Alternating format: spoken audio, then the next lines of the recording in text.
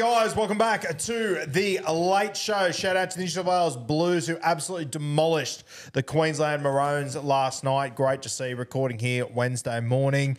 Uh, score, I think we won by we won by four. Demolished was a bit over the top. What do you think happened? Yeah, it was um, 24-20. I like that. Yeah. What about you, Catmandu? I'm staying. Oh, my mic's off. Sorry. Can you stop eating on the job? It's just gum. Gum. See, there's Oh my just goodness. fucking. The professional. Mate, if I flip that desk over and there's gum all over the bottom of it, That's I'm just- going to lose my mind. I'm offended that you think that I'm that type. As you choose into the, the microphone. yeah, unbelievable. Mm. Someone out there is enjoying it. All right. No doubt. um, okay, we're going to do today, instead of answering your questions, what we're going to do is go through the super pods for the run home. So 10% ownership or lower in the top 10% of Supercoach. Are you in the top 10%? Uh, yeah, Yeah? Don't say it confidently. I hope so. Your team's a fucking burning Yeah, train wreck. Seven, top 7%. Top 7%. Top Love 1% that. incoming. I know someone that chews gum and isn't in the top 10%. Embarrassing. How embarrassing. She's a debutante, the rock With our, our rock offs as well, that is, I think 14 in a row now it might be. Mm-hmm. Remarkable odds, I, I believe. Been informed that if we get 20 on the trot, the odds of that happening will be a million to one. Uh, let's do a rock off today. Winner gets to choose the first Potterella to talk about. Yeah. I want to keep it up. I want to. I've been meaning to check this, but I haven't got around to it yet. In the 14 in a row, I don't think we've had a draw. I reckon, Yeah, I don't think we have I either, reckon yeah. straight off the bat, I've won it every time. Yes, I think you have. Yeah. I'm really enjoying this. Let's do it. Ready? Ah, scissor, So, paper, rock. Oh, yes! Yes! Yes! Oh, that's a moment in time. Fuck you, Tim Williams. You scared the Apologies. crap out of Do me. we- No, I don't care. Sorry for you at home, but don't care. Do we Oh. do we have to pay the medical bills of the burst eardrums from people around the nation? Oh, put a sound warning at the start. Do anything. I don't care. That's part of How it. fucking good. if we had the bunker in this, they'd say there was a false start on the rock off, and we'd be going again. Ah, here we go. Yeah, nah, well done, mate. It was. I was getting a bit nervous about it through the week, so it had to come eventually. Oh, that felt good. What did I even do then? I don't remember. Was I paper? You were the blur. paper. Oh, it all happened so quickly. Can you talk to us now that it's happened? yeah. Was there any thought process going into the week? Had you gone? Had you gone back and listened to last week's or anything? No, mate. It's uh, I'm. It's panic stations every time. It's it's hit and hope stuff. that's devastating. Oh, that's good. It's over. That's that's fantastic. Um, mate. that's an omen for your Supercoach season two. So I get I, I I get to take the new ball. Um, I'm gonna go, mates. What about Mitchy Barnett at 8.2%, making his origin debut last night and absolutely flying? A couple of injuries over there at the Warriors. Could he be a little play for the run home? Yeah, look, a try and day, origin debut. What a way to do it. Um, remarkable from the big fella. Yes, he could, but he's so expensive. So He is expensive. 776k, he's got a three round average of 106, a five round average of 97. He had 90 in base in his last game against the Bulldogs. Obviously, golden point in that one, but still, great buy, especially with dual front row 2RF. I'm just not paying 776k for a front rower. Yeah, fair shout. What do you got? Um, currently ticks this box at nine block ugh, box at nine point nine percent, but he'll be out of uh, cheap uh, pod range very soon, so I won't touch on him. As will Connor Watson at nine point two percent, but let's go people who actually probably stay in pod range. Yeah. Ryan Papenhuyzen's one that people are sleeping on. He's at 7.9% ownership at the moment among top 10% overall. 652k. Tough game, obviously, this week against the Roosters, but look, we know what he can do. He's been very close to, you know, he was very close to 100 against the Tigers on return. Uh, but then he goes Eels, Dragons, Rabbitohs after this week. I think he's. I think people are sleeping on him. I agree. I like it. Uh, he'll obviously lose the goal kicking this week, which hurts him. Nick Meaney coming back in. He didn't goal kick anyway. Wish I did. I wish I did, didn't Yeah. he? Yeah, true. Sorry. Um, yeah, I I've got my eyes on other fullbacks personally, uh, but I can understand people looking at him. Well, put it this way: for people who still need a fullback after this week, if he comes out and puts 80 to 100 on the Roosters going into that draw and looks the goods, which I think he will, it'll change. Yeah, it can become very appealing. Uh, mate, I'm going to drop down to the 3% range Ooh. here. That was quick. Yep. Um, I, man, I think Dane Gagai with this Newcastle Knights run home is delicious. I've already got half of the Newcastle Knights team, uh, and I seriously considered him this week, and I'm still not ruling him out. Uh, round 23 onwards, I absolutely love the Knights draw. Uh, I think you got Tyson Gamble returning there this week, maybe next week. Man, I reckon he's a great little pod play, Gagai. From round 23, because of that Yeah. draw, Broncos by Panthers away. From round 23, yes. I don't think you could go on him before then, though. He he just gets it done, doesn't he? He's shown recently he's got a bit of a ceiling. He won 20 against the Raiders, tonned against the Storm down in Melbourne. So, two scores against Melbourne this year 194. Wow. Yeah, I like it from round 23. from round 23, I reckon that. Uh, so it's going to be very interesting in round 23 for people that have trades. I think we're going to have to make a decision. Well, I think two very good plays that week will be Dane Gagai and Zach Lomax is the other one that I think will be very appealing that week for the run home. And there's another one Joseph Manu, round 24. Ooh. So coming back probably before the bye, but look, the way the Roosters are going wouldn't shock me if they just waited till after the bye, given that extra time. Comes back to Eels, Titans, Raiders, Rabbitohs. See, and there's what we're saying. That's three guns. Like, Cat could get them all. He's going to have that many trades. You could make Yeah. that many moves. So in a like, good I, spot. I've got And you could nuff out whoever the hell you wanted to to bring in, bring them in too. I used the word nuff the other day and someone was very impressed. nice. I was like, Do you know what I do for work? I talk about good. nuffs all week. What were you about to say about Manu? I was about to say cats evolving. I am evolving. Uh, Manu, I I'm going to buy him around 24.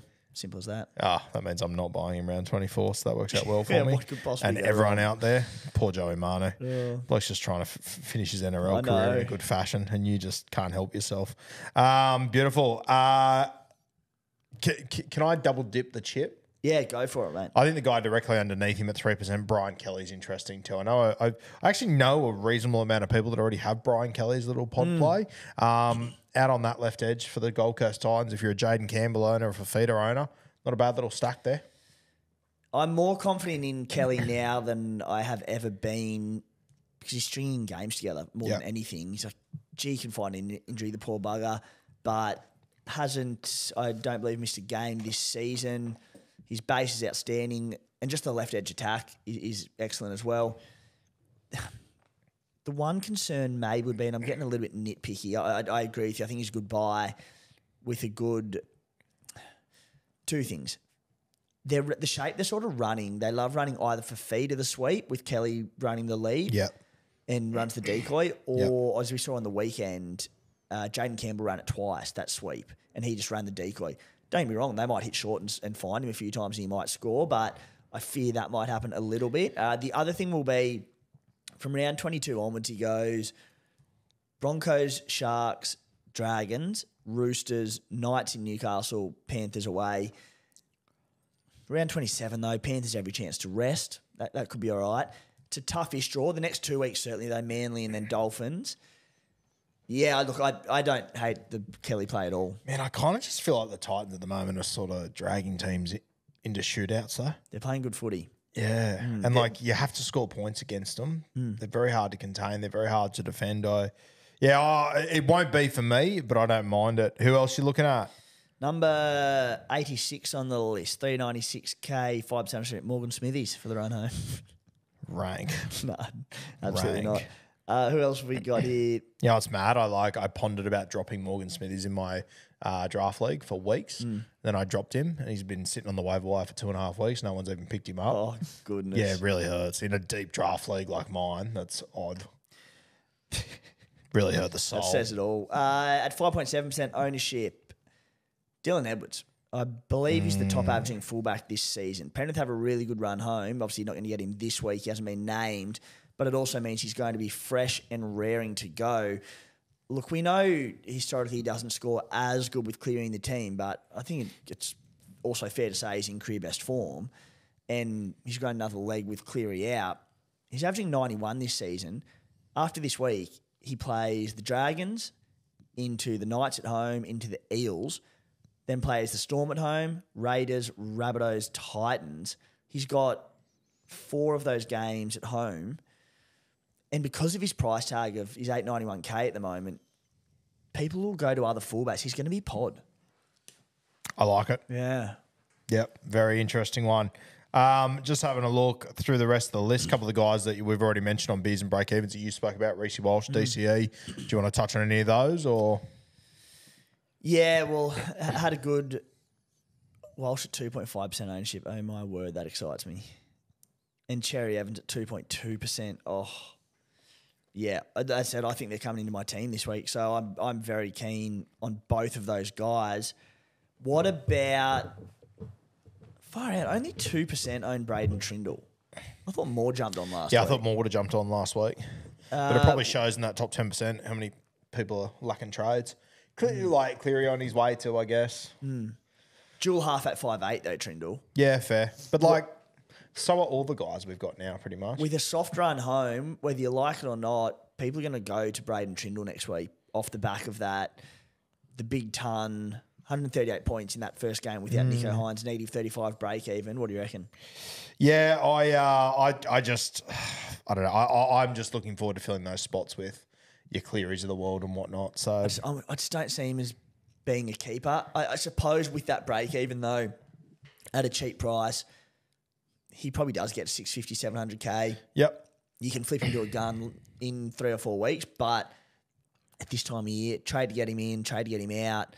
As I'm with you, I think you want to be trying to do it in one hit to I'm also, I'm just, I mean, the reality is the Braydon Trindall blinded last week. It was against the West Tigers, who pretty much didn't get off the mm. bus. Like, I do want to watch him for another week just to see how it all plays out. Here's one that needs to be flagged for those out there.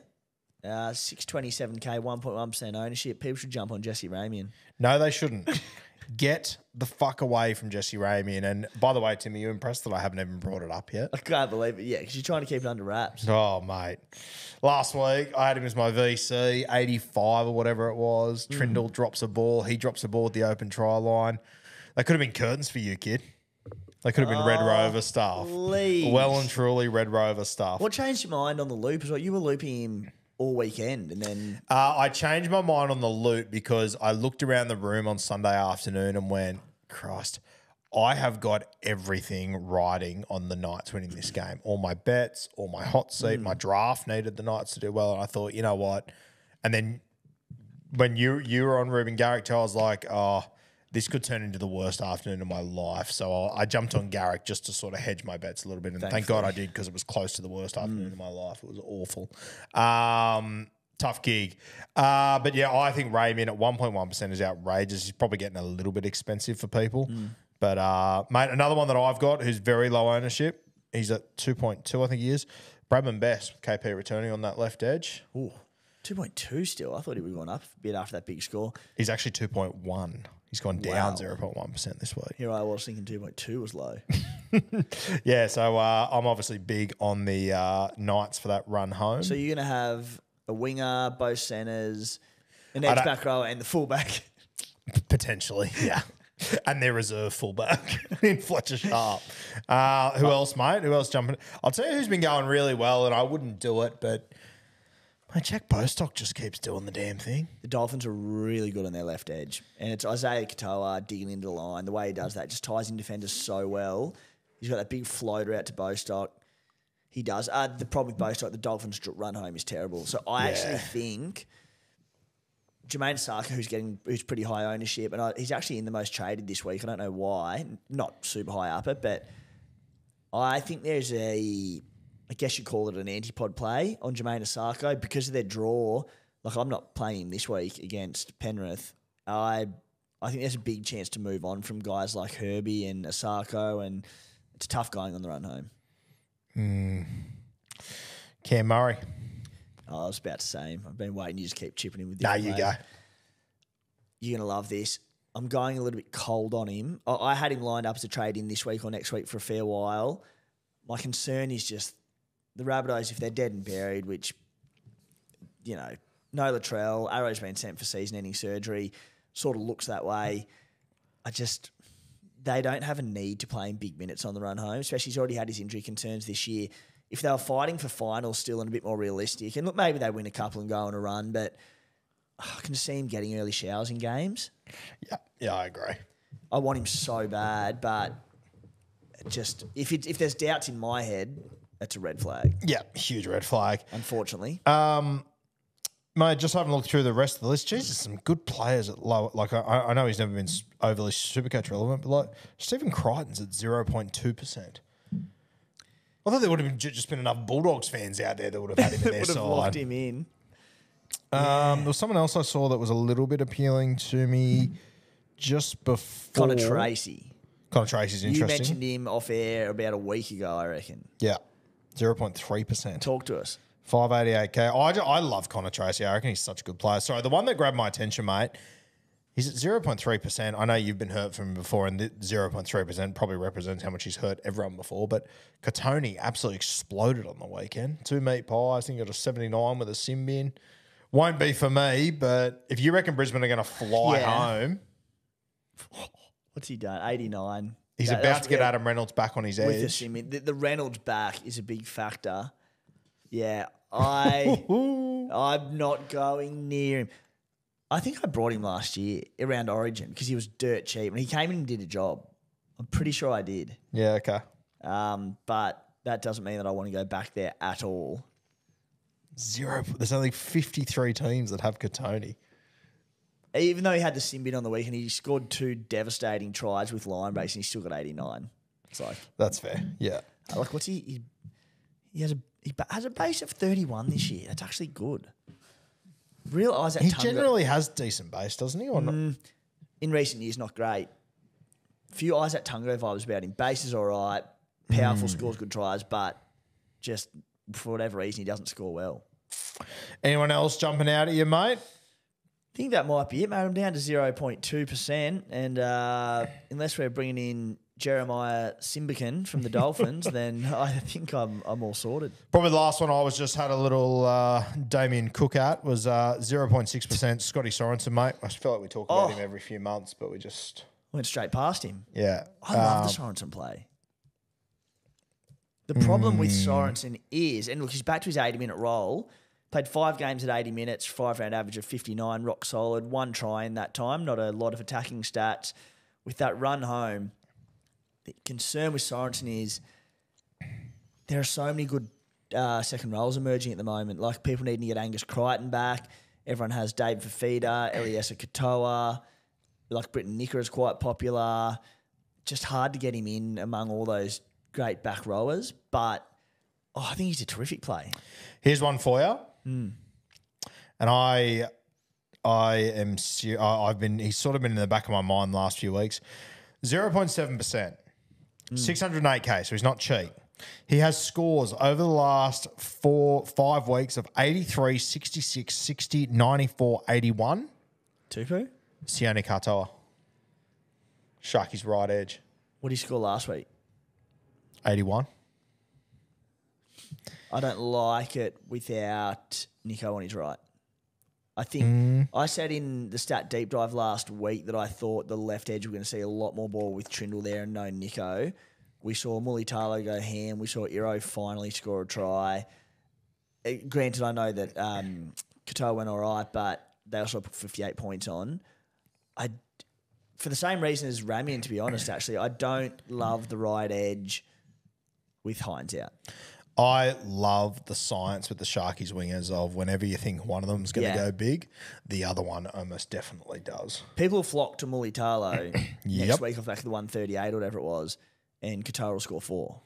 Yeah, Katoa hasn't gone sub 60 in five weeks. What's his base look like in that time? Um, 23, so not great. Good draw. Yeah, I, I don't like it with Nicho. If Nicho was there, sure, but no. It's one that I will be considering. 600, 600k is not cheap, though, to be fair. Um, Kat, is there anything that's any names we've said here that have jumped out at you, or nothing really? Truly. I think they're good ones for consideration. Um, but I'm pretty happy with what my team looks like at the moment. My areas of concern are players that are injured or not of any use to me right now. And I feel like we nipped that in the butt this morning with. Oh. I feel like Timmy's got something to say. 0.0% ownership. Two owners in the top 10%. 698k. Give me a team. Storm. Like a meanie? No. Injured. He's an. Oh, the money man. The Mad Dog. Is that? Imagine two owners in the top 10%. Imagine going Munster on return with Well, the have they soft just draw. held him the entire time, have they? I don't know, Rue. I They haven't seen probably their haven't team. opened their apps. I haven't spoken to them. Cheers, mate. I didn't. I didn't think you were sitting on their lap. what a fucking dickhead!